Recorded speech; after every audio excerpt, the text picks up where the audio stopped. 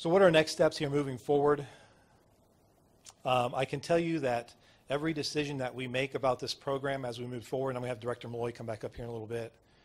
Every decision we make here moving forward is going to be geared toward the addicted person's future and not their actions of the past.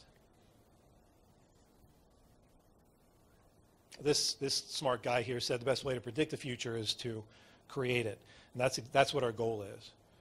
That's what our goal is. Director Malloy stated that we are going to be, uh, where we did start the, the, uh, the Project Dawn project, or the Project Dawn um, with the Narcan kits. Our guys hand those out now. So not only are they handing out packets, but they're saying, hey, we're going to be back. Like he said, we're going to be back. We're going to be back to see you. In the meantime, if something happens, here's a here's an Narcan kit. The instructions are in there. Um, we get a lot of questions about that from our personnel, too. Are we just enabling here? Are we being part of the problem? That's I'm, I'm kind of tired of hearing that, but but it's a valid question. Three years ago, three and a half years ago, I probably would have asked the same question. Are we enabling? If we were just going out and handing out Narcan kits as part of our program, here you go, here's an Narcan kit, hope you make it. I would say absolutely we would be. But that's not what we're doing. We're bridging a gap, right? We're going to come back. So this process starts with the overdose response. We're saying, here's a packet. We want you to get connected to resources. We care. We're going to be back. In the meantime, if something, ha- if something happens, here you go. Here's an Narcan kit. And then we're showing up. And then we're getting, getting them directly connected to resources for help. And then we're following up with them again. I had a one more piece on culture change before I turn it over. We had one individual who um, had a significant addiction is- issue without going into the details. Um, and the guys were getting pretty tired of responding to him. He would call once every two or three days. I would respond at that point because it was getting that repetitive, and the guys really didn't know what to say or do with him anymore. So I would respond.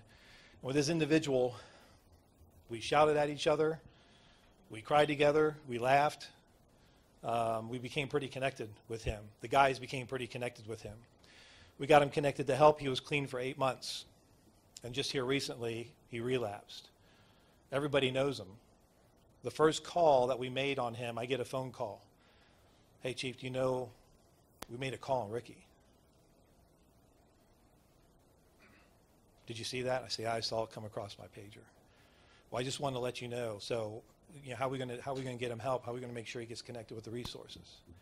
That's culture change. Three years ago, that wouldn't have happened.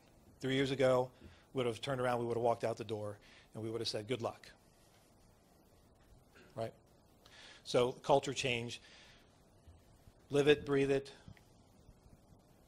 It's your choice whether you make things mandatory or not. Um, we did not, and it was very effective. We wanted them to do it because it was the right thing to do, right thing to do, not because Chief Mueller said they had to do it. Right? All right. Thank you, Director. Thank you, Chief. He didn't share. We had a story the other day, Wednesday, from the police side, finishing up the culture change. Police officer stops guy, several warrants, got to go to the JC, the Justice Center, I apologize. But he starts getting in the history, talking to him. Well, it, on the way to the Justice Center, he stops in to our Community Resource Center, our CRC. They're working. He's got to do the, the arrest paperwork anyway, pulls in, brings them in, gets the, gets the work started, gets the introductions made, lays the groundwork for the bridge to treatment while he's doing all his paperwork. Rather than sitting in the car with him in the back seat, he goes to the substation, gets that work done, gets them all connected, lets these folks do their business, gets them back up, puts him back in the car, takes him to the Justice Center. Now he's in the system. Now they're moving forward. Now they're making things happen. The other thing for me, from the from the police looking at fire, is when the medics told me we don't. We have five hospitals that we transport to. Well, we don't take them to all certain hospitals because of the way that the nurses treat them when we come in the door. They roll their eyes. They look at us like, "What do you want us to do with it?" They're under our care. We know what we're doing. They're safe. We're taking them to a different hospital. I looked at him, I said, that's culture change. It takes time, it takes an openness, but it also takes leadership.